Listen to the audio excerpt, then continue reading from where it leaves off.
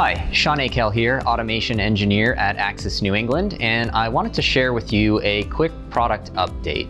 The recent pandemic has been challenging for everyone, but it has also gotten a lot of companies thinking about automation as a solution for when the next crisis hits. Luckily, there are a lot of new products in robotics, motion control, machine vision, and industrial networking that can help them reach their goals.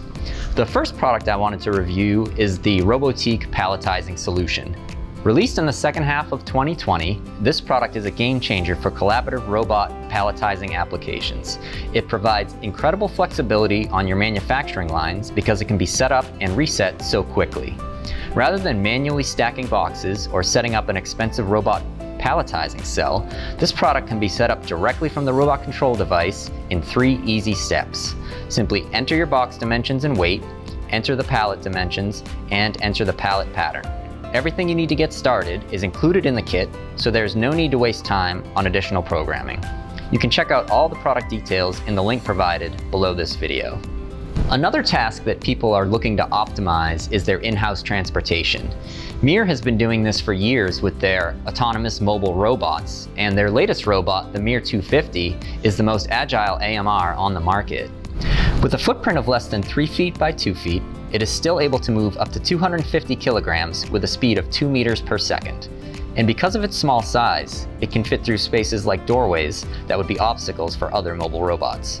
It can also work around the clock with the option to quickly swap out the battery. In conjunction with the release of the MiR 250, ROEQ has released two new carts for free space pickup, the S-Cart 300 EXT and the S-Cart 300W. These carts allow you to add all sorts of accessories to the top and allow for increased maneuverability and stability. Switching gears to talk about industrial networking for a minute, Moxa recently released their EDS-2000-EL unmanaged Ethernet switches. Measuring just a few inches in size, these tiny switches can fit into any control cabinet to allow for a large number of connections. Despite their small size, they have been rigorously tested to meet rugged industrial specifications, meaning they can operate in a wide temperature range and in harsh environments. Its unique quality of service function is settable using only a dip switch and allows you to prioritize data when traffic is congested to prevent data loss. These switches are available with 5, 8, and now 16 ports. Check them out to save time, save space, and save cost. On the machine vision front, LMI has recently released their focal spec 3D line confocal sensors. These unique sensors leverage a patented off-axis line confocal optical design to ensure continuous, non-contact measurement of the most challenging materials and shapes, including curved display glass, multi-layered transparent materials, and a variety of highly reflective electronic parts.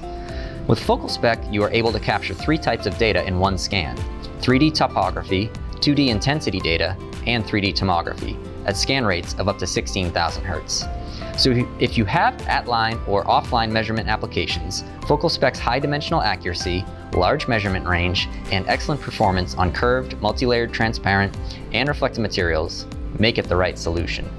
The last product I want to talk about is AI vision software from Neurala. Neurala is a Boston-based company that has made great strides in the field of automated quality inspection.